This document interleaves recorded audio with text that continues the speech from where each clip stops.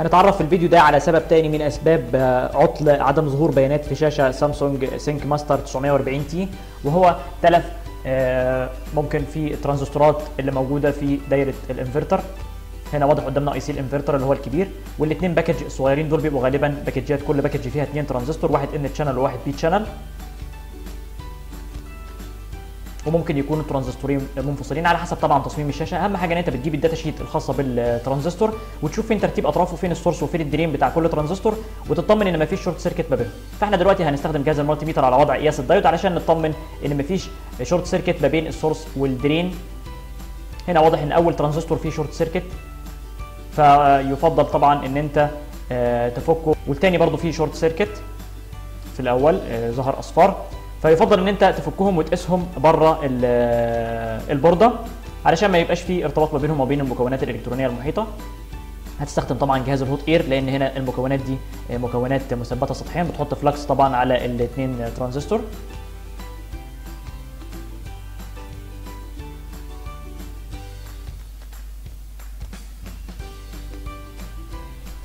وبتستخدم جهاز الاس ام دي ورك ستيشن أو الهيتر علشان تشيل الترانزستورات أو تفكها. وتحرص هنا إن يعني عمليه التسخين تكون مش بصوره مستمرة وطويلة. تحاول إن أنت تمرر التيار يعني بطريقة مموجة علشان البورد بتاعت شاشات ال سي دي حساسة مش زي المذر بورد واللابتوب بتستحمل درجات الحرارة اللي طالعة من الهيتر لفترات طويلة. وباستخدام طبعا القط المعدني أو الجفت زي ما بنسميه بتبدأ ترفع الترانزستور أول ما تحس إن هو الأسدير اللي مثبته في قواعد الأسدير أو سدات الأسدير بدأ ينصهر.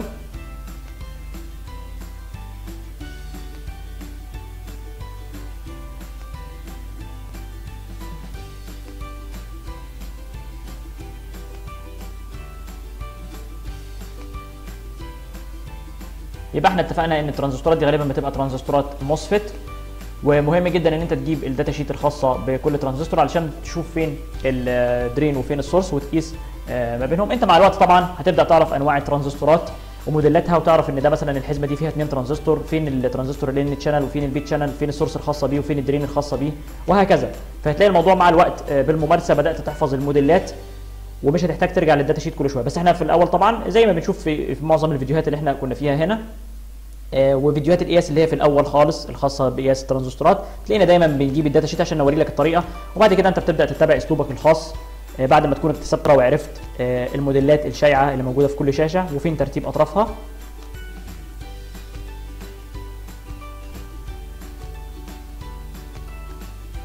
طبعا يفضل إن أنت ما تعليش درجات الحرارة بتاعة الهيتر آه، زي ما بتكون عالية في آه، أثناء فكك لمكونات من المذر بورد واللابتوب. هنا درجة الحرارة تكون يعني منخفضة شوية. مش مشكلة أما العملية تطول بس أهم حاجة إن البورده ما يحصلش فيها احتراق وما تبقاش بتسخن لفترات طويلة في نفس المكان.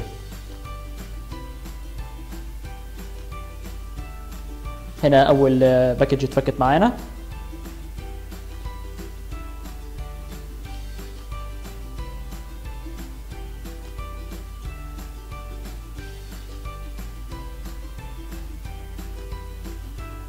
هنطمن على الباكج الثانية بعد ما شلنا الباكج الأولانية. فواضح طبعا إن هنا الباكج اللي معانا دي ما فيهاش شورت سيركت بعد ما فكيناها وقسناها على البارد. الباكج الثانية لسه فيها شورت سيركت بعد ما فكينا الباكج الأولانية. لأن أحيانا وجود مكون تالف وفي شورت سيركت بيأثر على المكون اللي جنبه فطبعا أسلم طريق أسلم طريقة للقياس على البارد. والاطمئنان هي إن أنت تفك المكونات وتقيسها بره البورد.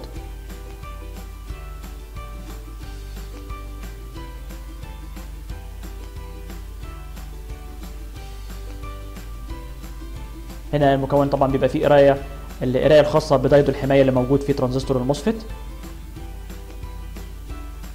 فمعناه إن هو مش تالف لأنه مفيش شورت سيركت اللي إحنا فكيناه ده. أما التاني لسه بيدي شورت سيركت على البورده فهنفكه برضه. ويفضل إن أنت ما تفكش الاثنين ترانزستور ورا بعض على طول بعد عملية فك الترانزستور الأول. سيب البورده تهدى شوية وتبرد وبعدين بعد كده تبدأ تفك الترانزستور الثاني علشان زي ما قلنا إن البورد الخاصة بالشاشات ال سي دي حساسة جدا لدرجات الحرارة وممكن البورده تبوظ منك. الطبقة اللي هي ال- الأولانية اللي عليها ال green mask دي تتلف وتبدأ تلاقيها انتفخت. فيعني عملية التسخين يفضل إنها تكون أكثر يعني آه، تكون انت أكثر حرصا آه، من آه، من ما بتكون وانت بتشتغل في ال motherboard واللابتوب ودرجة الحرارة زي ما اتفقنا تكون منخفضة وتستخدم flux كمية فلكس آه، مناسبة. وبرضه بتموج يعني تمويجة خفيفة كده بجهاز الهيتر ما تثبتش في مكان واحد لفترات طويلة.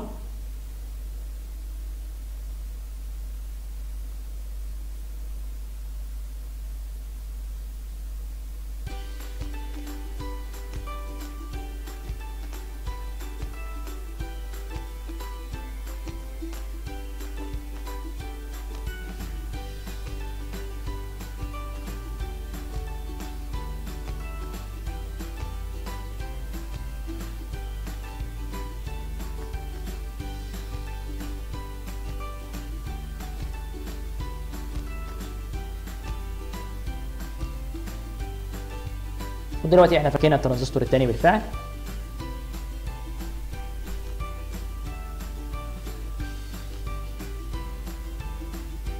هتبدأ تطمن عليه وتقيسه بره وتشوف في short circuit ولا لا. ما بين ال source وما بين ال drain هنا واضح إن هو في short circuit معناها إن الترانزستور الثاني بالفعل تالف. يعني الأولاني كان بيدي short circuit في الأول جوه البوردة لما طلعناه بره سليم الثاني لما فكيناه بيدي short circuit بره وكان في البورده بيدي short circuit فمعناه إن هو تالف طبعا أسلم قياس هو القياس خارج البورده لو قياس على الباقي. إحنا معانا هنا طبعا نفس الموديل الخاص بالترانزستور. آه، بيتباع جديد. معظم الترانزستورات ديت أو أغلبها بيتباع جديد. فهنجيبه طبعا ونركبه آه، في نفس المكان آه، الترانزستور التالف هو طبعا ليه هنا 8 أطراف. وهنا طبعا مكتوب عليه رقم الموديل الخاص بيه 4502 C.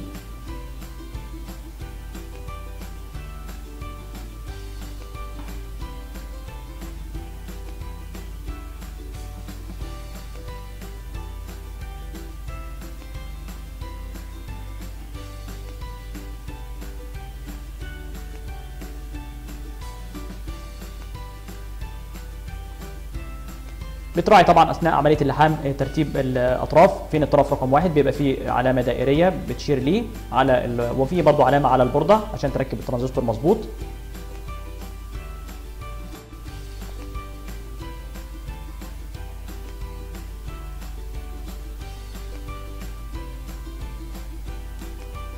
طبعا بنضيف كمية مناسبة من ال flux أثناء عملية لحام الترانزستورات.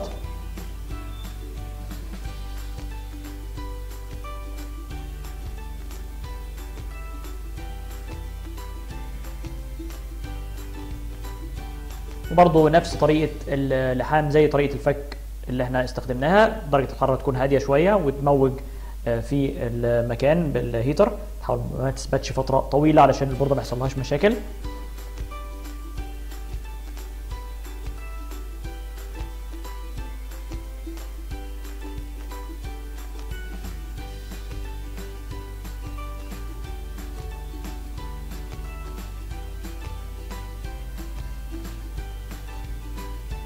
وبنأكد تاني آه، الترانزستورات اللي بتبقى موجودة في دايرة الانفرتر الترانزستورات ال MOSFET غالبا بتبقى package فيها اثنين ترانزستور واحد N channel وواحد P channel المهم إن أنت تجيب ال data sheet الخاصة بيهم في بداية شغلك وتستخدمها مرة واثنين وثلاثه لحد ما تبدأ تحفظ آه، أو بالممارسة هتبدأ تعرف ترتيب الأطراف لكل موديل من الموديلات الشائعة.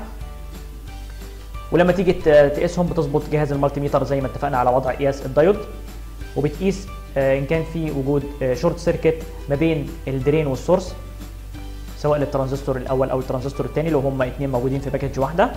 بتبقى عارف طبعا ترتيب ترتيب الأطراف. أهم حاجة ال source وال drain تشوف فين ال source وال drain بتاع كل ترانزستور وتقيس ما بينهم وجود short circuit ولا لا. هنا طبعا إحنا بنختبر الترانزستور آه، اللي إحنا ركبناه. ما فيش short circuit والترانزستور الثاني ما فيش short circuit برضه. كده معناه إن الاثنين سلام ومفيش أي مشاكل.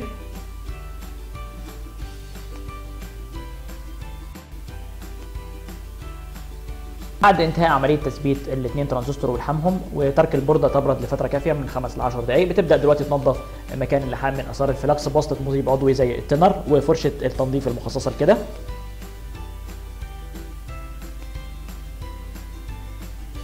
وبعدين بتزيل آثار التنظيف بواسطة منديل ورقي جاف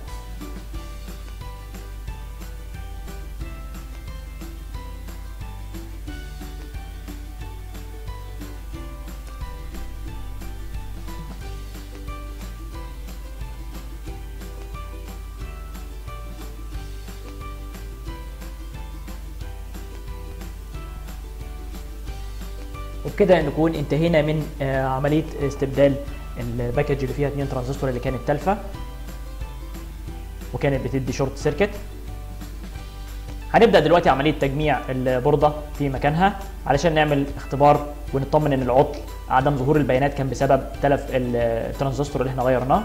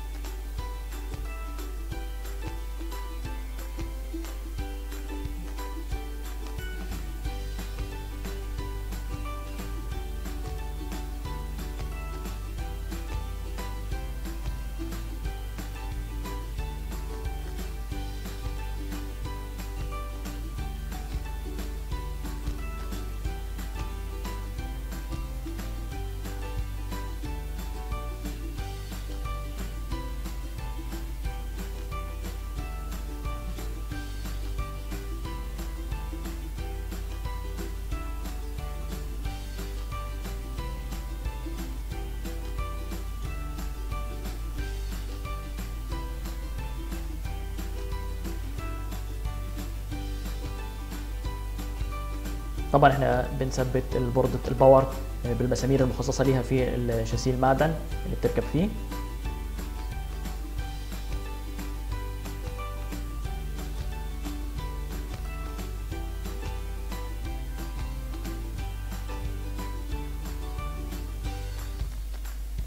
وبعدين بنركب كابل LVDS اللي بيركب فيه ال connector المخصص ليه في البوردة الملحقة ب LCD panel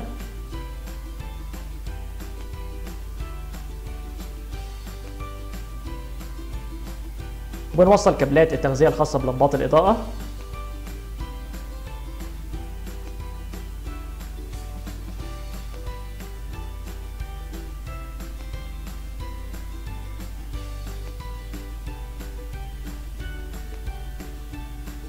هنبدأ دلوقتي نوصل كابل البيانات وكابل ال power علشان نعمل test مبدئي على الشاشة قبل ما نركب ال cover الخارجي اللي هو الخلفي.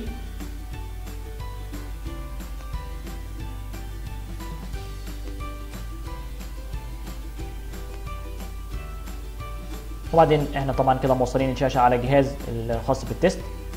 وبالفعل الشاشة آه، ظهر عليها بيانات معناها إنها اشتغلت وإن العطل فعلا كان في الترانزستور التالف اللي موجود في دايرة الإنفرتر. وبكده نكون انتهينا من إصلاح العطل اللي كان في الشاشة.